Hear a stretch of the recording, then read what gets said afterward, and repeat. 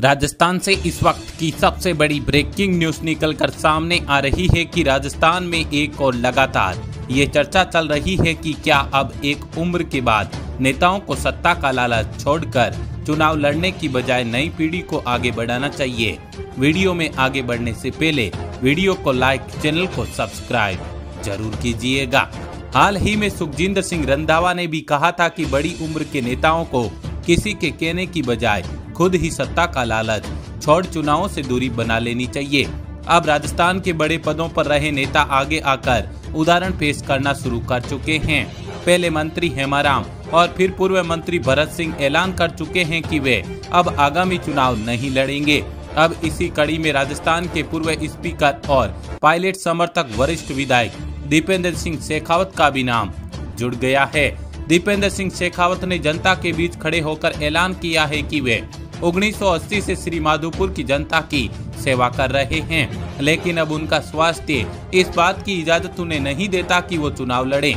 ऐसे में भले ही श्री माधोपुर की जनता उन्हें चुनाव जिताना चाहती है, लेकिन अब वो अपनी जनता की सेवा स्वास्थ्य कारणों के चलते नहीं कर सकते हैं। तो फिर उन्हें चुनाव भी नहीं लड़ना चाहिए। बता दें कि दीपेंद्र सिंह शेखावत चाहते हैं कि अब कांग्रेस पार्टी उनकी जगह, उनके बेटे बालुंद सिंह को टिकट दे, ताकि कांग्रेस पार्टी की कमान अब युवाओं के हाथ में हो।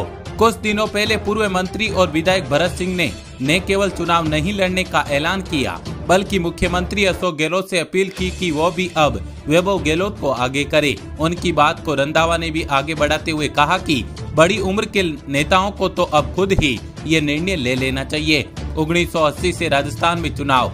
लड़ रहे कांग्रेस के नेताओं की बात करें तो उनमें अब मंत्री हेमाराम, पूर्व मंत्री भरत सिंह, पूर्व मंत्री अमीन खान, दीपेंद्र सिंह शेखावत और परशुराम मोरदिया, वो नेता है जो आज भी जनता की पसंद बने हुए हैं और लगातार विधानसभा चुनाव जीतकर विधायक बन रहे हैं। 1980 या उससे पहले वाली पीढ़ी के नेताओं में दीपेंद्र सिंह शेखावत, हेमाराम भरत सिंह और अमीन खान ने तो चुनाव नहीं लड़ने का ऐलान कर दिया है। अब सबकी नज़रें मुख्यमंत्री अशोक गहलोत पर है कि वो इस पर क्या निर्णय लेते हैं। संभव है कि परशुराम मोरदिया भी जल्द ही ऐसा कोई निर्णय ले सकते हैं। बता दें कि पहले भी कांग्रेस के पूर्व अध्यक्ष रहे। नारायण सिंह ने स्वास्थ्य कारणों के चलते चुनाव से दूरी बनाई। पिछले विधानसभा चुनाव में अपने बेटे वीरेंद्र सिंह को चुनाव लड़वाया था। जो वर्तमान में विधायक भी है। दोस्तों, वीडियो को शेयर, चैनल को सब्सक्राइब ज़रूर कीजिएगा। धन्यवाद।